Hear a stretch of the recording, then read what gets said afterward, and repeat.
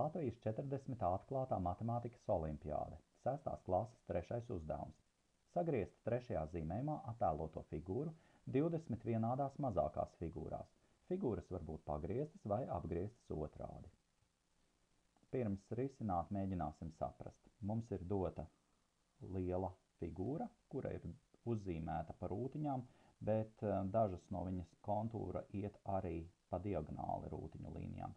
Līdz ar to mums uh, jāmēģina meklēt atrisinājums, kurš arī ir daļēji sakrīt ar rūtiņu režģi droši vien, bet nepilnībā, jo šeit ir tādi mazi trīsstūrīši, kas veido pusi no rūtiņas. Nu, un mums viņi jāsagriež 20 mazākās figūriņās. Mēs atļaujam figūriņas pagriezt un apgriezt otrādi. Ar pagriezieniem mēs saprotam rotāciju, tātad ap jebkuru punktu, ja mums ir kāda figūriņa, mēs viņu varam griezt dažādiem leņķiem. Droši vien šajā uzdevumā mums būs praktiski griezt pa kādiem 90 vai 180 vai 270 grādiem, jo citādāk mēs tajā režģī vairs neiekļausimies. Nu, un otrkārt, mēs viņus var arī apgriezt otrādi.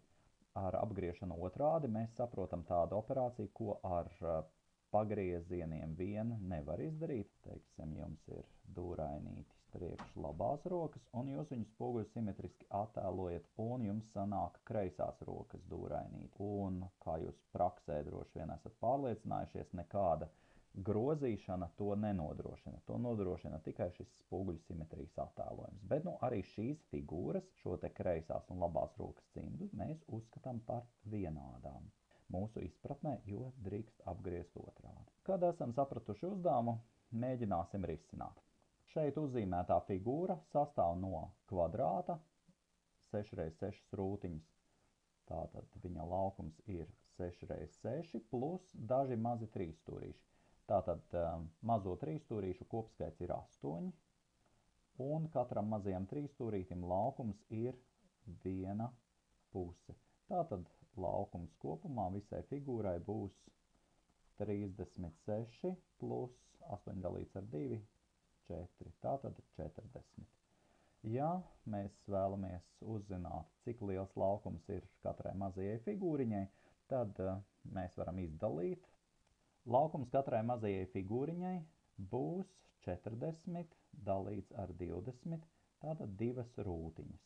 Šādi varianti mums uzreiz jāpasaka nederēs, tādēļ, kā ar viņām nevar aizpildīt mazos trīsturīšus, nu tad mums atliek lipināt kopā dažāda veida figūras no šādiem te pusrūtiņu trīsturīšiem, un tur var izveidot dažne dažādas konfigurācijas. Var izveidot, piemēram, šādu, var izveidot šādu, var izveidot, piemēram, trapecveidīgu. Starp daudziem mēģinājumiem un kļūdām izrādījās, ka ir viena veida figūriņa ir īpaši noderīga, vienu trīsstūrīti šeit un otru trīsstūrīti šādā veidā pagriezt.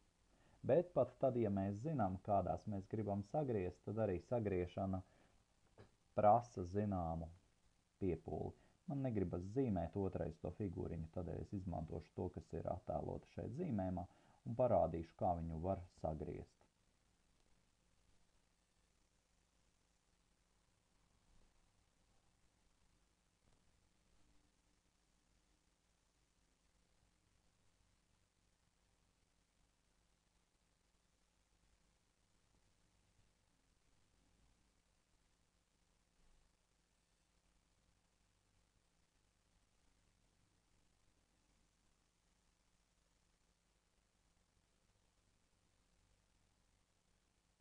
Mēs esam vienu ceturto daļu sagriezuši.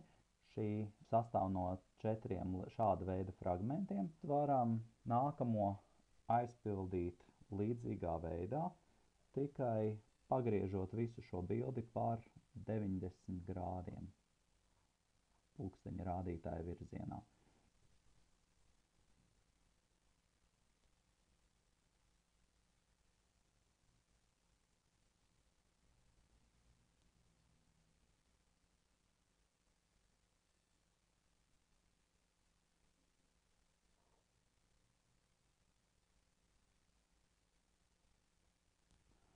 Un tādā veidā jūs varat turpināt.